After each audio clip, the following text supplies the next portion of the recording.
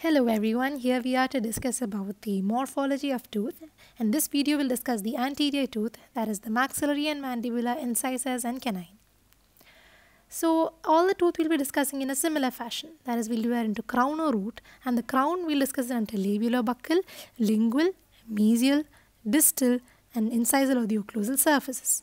And each of the surface we'll discuss its shape, crown outline, surface, height of contour. Crown outline itself we can divide into many. For example, the labial surface we can divide into the mesial crown outline, the distal crown outline, incisal and cervical crown outline. And for proximal we can divide into labial, lingual and cervical crown outlines. So before I start the explanation, let me give you a warning. Do not try by hearting morphology because that's going to get a little bit nasty. So we would suggest you that first you try to understand this, for which I hope this video will be helpful. And then the diagram. The diagram is very important because that's going to stand out better than what you write. And then after that you have to know all the headings that we just mentioned in the chart before. So once you have the headings in your head, all you have to do is just fill in the content with what you understood. And this will make things much simpler beginning with the maxillary central incisors. We'll begin with the labial aspect. It is trapezoidal in shape. With the crown outline, the mesial outline is relatively straight with the meso-incisal angle sharp and the mesial contact area is at the incisal third of the crown. Next to the distal outline, the disto-incisal angle is rounded and the distal contact area is at the junction of the incisal and middle third of crown. Next with the incisal outline, it is usually regular and straight mesiodistally and the cervical outline is semicircular with the curvature towards the root. Next with the labial surface as such. Now the surface is convex and smooth cervico-incisally and mesiodistally. Now with the lingual aspect, it is very similar to the labial aspect except for the lingual surface which uh, as you can see converges lingually and the lingual surface as such is very irregular with convexities as well as concavities. Now the convexity is the cingulum which is located at the cervical third of the crown and the concavity is the M-shaped lingual fossa which is located in the incisal and middle third of crown. It also has 2 to 3 developmental grooves running into the cingulum. Next is the mesial aspect. It is triangular or wedge shaped. Now with the crown outline, the labial outline is convex and the lingual outline is concavo-convex. The incisal outline, the incisal ridge is in line with the vertical root axis and the cervical outline curves incisally up to 3 to 4 mm. Next with the mesial surface, the mesial surface is convex labiolingually and cervicoincisally with less convexity at the cervical area and the mesial contact area is at the incisal third of the crown. The height of contour is at the cervical third of the crown, both labial and lingual.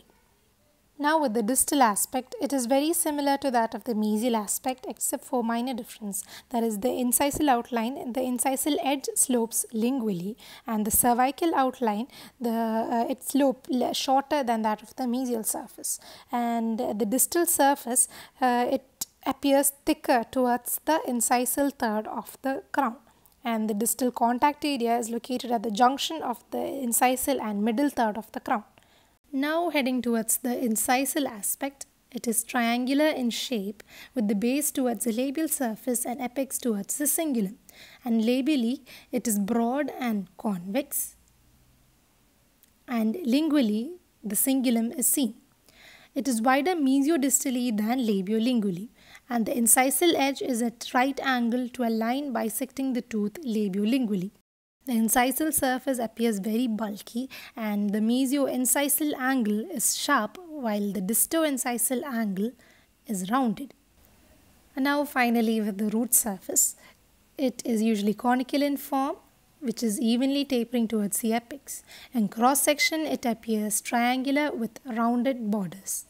It is single in number and is 2 to 3 mm longer than the crown and at the apex it is uh, blunt in nature and the curvature is usually straight without any tilt. Next is the maxillary lateral incisors. They are very similar to that of the central incisors. So let's not repeat the whole thing again. Let's just focus on the differences. So the laterals are smaller in all dimension than the central incisors. The labial surface is more convex than that of the central incisors and the contact areas are more cervically placed with the mesial contact area at the junction between the incisal and middle third and the distal contact area at the middle of the middle third of the crown. Now the incisal edge is rounded or curved with rounded angles and the disto-incisal angle is more rounded than the mesio-incisal angle. Both the mesial and distal outlines are convex but the distal outline is more convex than the mesial outline. Now heading towards the lingual aspect.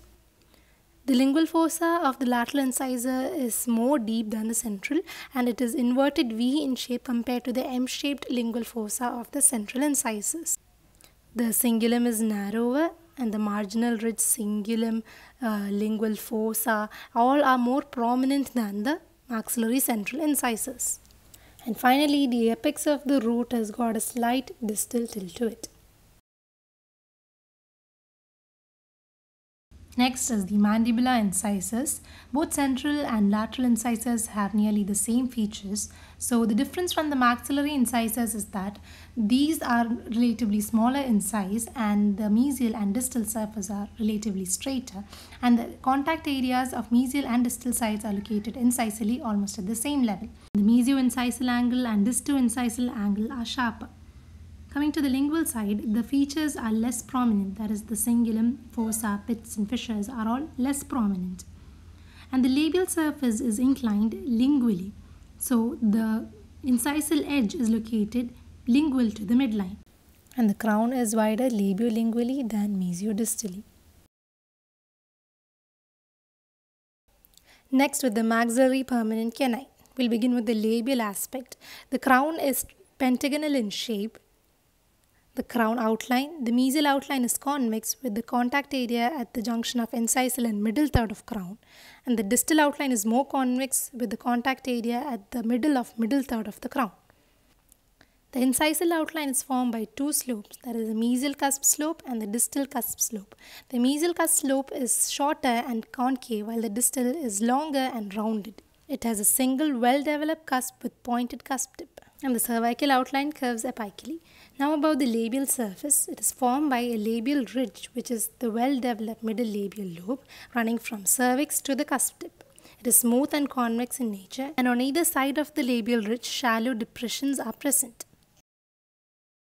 Now with the lingual aspect, it is very similar to the labial aspect but the cervical outline is more convex and the lingual convergence is more marked and the cingulum is large and well developed and strongly developed marginal ridges are present and the lingual fossa divide into mesial and distal part by lingual ridge. So next is the mesial aspect. It is triangular or wedge shaped with the crown outline. Labial crown outline is convex and the lingual is concave or convex or S-shaped. The incisal outline form a small arc at the cusp tip. The cervical outline is convex pointing towards the cusp tip. Now about the mesial surface. The crown is bulkier labiolingually and is thicker at the incisal portion than the incisors and it is convex except for a small concavity in the cervical portion. The mesial contact area is located at the junction of incisal and middle third of the crown and is centered labiolingually. And the height of contour is located at the cervical third of crown. Now the distal aspect, it is very similar to the mesial aspect except that the cervical outline is less curved and there is more concavity apical to the distal contact area and the distal contact area is located at the middle of the middle third of crown. Now with the incisal aspect, it is diamond shaped.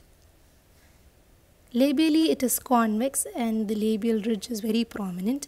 Lingually, the cingulum, marginal ridges lingual ridge, lingual fossa are all seen. It is wider labiolingually than mesiodistally. Uh, the cusp tip is located labial to the crown center labiolingually and mesial to the crown center mesiodistally. It is asymmetrical in nature with the distal half larger than the mesial half of crown. The cusp ridge forms a straight line mesiodistally which bisects the contact area and the mesial contact area is broader and the distal contact area is shorter and stretched to make contact with the first permanent premolar. Now finally with the root surface, canine has the largest root in the whole dentition and it is wider labiolingually than mesiodistally. It is conical in form. Now in cross section it has an oval shape and the apex of the root is blunt in nature. They have a distal tilt at the apical third of the root and have developmental depression in both mesial and distal aspects of the root with the one on the distal aspect being more deeper than the mesial aspect. Now to the final tooth of this video, the mandibular canine. Now they are longer and narrower than the maxillary canine and they have relatively straight mesial and distal outlines. The cusp of this canine is less sharp and the mesial and distal contact areas are located at the same level incisally and the mesial slope is much shorter than the distal slope and the labial ridge is also less prominent. Coming to the lingual side, it is relatively more smooth with less prominent cingulum, lingual ridge, lingual fossa and ridges and the cingulum is placed more distally and the cusp tip is located lingual to the midline.